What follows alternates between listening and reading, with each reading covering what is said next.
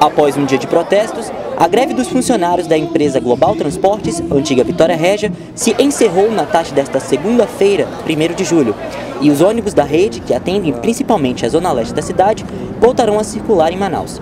O prefeito Arthur Virgílio foi à garagem da empresa de ônibus onde foi realizada a paralisação e propôs o um acordo entre rodoviários e empresários. Após o término da reunião, o prefeito afirmou que a empresa terá as finanças avaliadas por uma comissão formada por rodoviários e a Superintendência Municipal dos Transportes Urbanos, SMTU. Ou foi a gente vai voltar para o Eles acham que é melhor fazer o que vão fazer agora. Eles compraram o material vidros quebrados, 45 mil reais de prejuízo, e os danos causaram.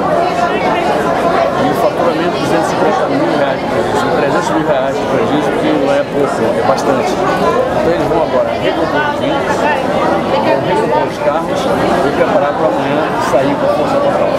Os funcionários fizeram uma paralisação protestando contra o atraso no depósito do FGTS e do INSS. Aqui era melhor que tinha na Vitória Régia, era uma das melhores empresas aqui dentro, agora está assim, entendeu?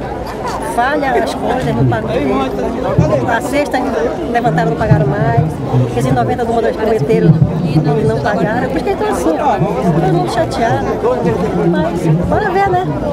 O prefeito agora está aí, bora ver que ele vai fazer alguma coisa pela categoria, né?